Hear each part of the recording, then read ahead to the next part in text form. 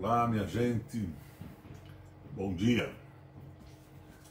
Eu, alguns dias atrás, reproduzi no meu Face no meu Twitter um blogzinho, um videozinho do Eugênio Aragão dizendo que a vacina Sputnik, que estava sendo tratada com o governo do estado do Paraná, teria sido transferida para um laboratório do deputado Ricardo Barros, que hoje é líder do Bolsonaro na Câmara, ao invés de continuar com o nosso TECPAR, nosso Instituto de Tecnologia. Bom, o Ricardo Barros disse que não tem laboratório em Curitiba e, na informação que deu, afirmou que a conversa era com o TECPAR. É claro, eu reproduzi a resposta do Ricardo Barros, porque eu não estou aqui para fazer fake news nem infamar ninguém. Mas o Ricardo, me perdoa, não esclareceu completamente esse caso. O Ratinho, governador do Paraná, deixou bem claro que tinha um protocolo com os russos para produzir esta vacina no Tecpar. De repente o Ratinho cala a boca, o rato desaparece e não fala mais nisso. E o que se sabe de rumores nos corredores da política do Estado é que se formou um lobby para que esta vacina, se feita pelo Tecpar, dificilmente teria pichuleco, capilézinho, comissões por fora. Mas se a vacina fosse elaborada por um laboratório privado, sempre é possível que surja uma comissão. Não é assim que operam os pilantras, meu amigo Ricardo Barros.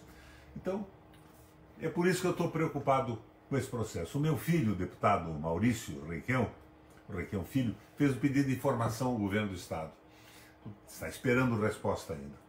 Então, o que se supõe, Ricardo Barros, é que houve uma pressão para que o Estado do Paraná desistisse de produzir a vacina por uma empresa pública, nosso Tecpar, como, como faz o Butantan e a Fiocruz no Rio de Janeiro, Butantan em São Paulo, seria maravilhoso para o governo do Estado, estaria marcando um gol, e para a saúde pública do Brasil.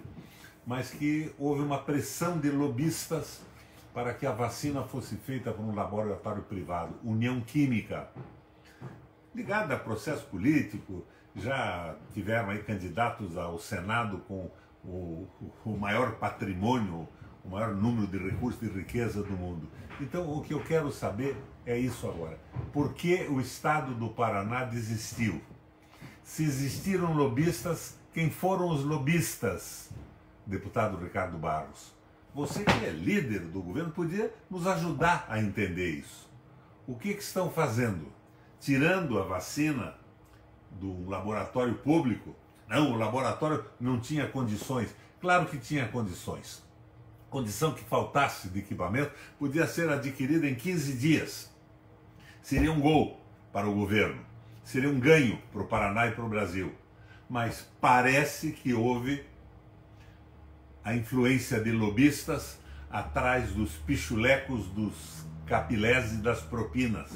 É isso que se comenta no Paraná. Ricardo, eu divulguei a notícia que o laboratório era seu, você esclareceu e eu divulguei em todos os meios que eu tenho acesso, todas as minhas redes sociais. Mas agora cobro de você e do rato uma explicação. Por que a vacina não vem pelo Tecpar?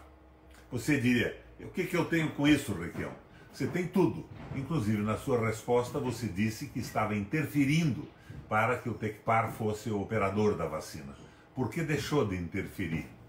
Quem são os lobistas que tiraram do Paraná? Vamos esclarecer isso com seriedade e com tranquilidade. Para isso, estou usando aqui agora o meu Facebook. Um abraço, Ricardo. Estou cobrando de você e do Ratinho, bem como o meu filho já cobrou com pedido de informações na Assembleia Legislativa. Um abraço, Ricardo.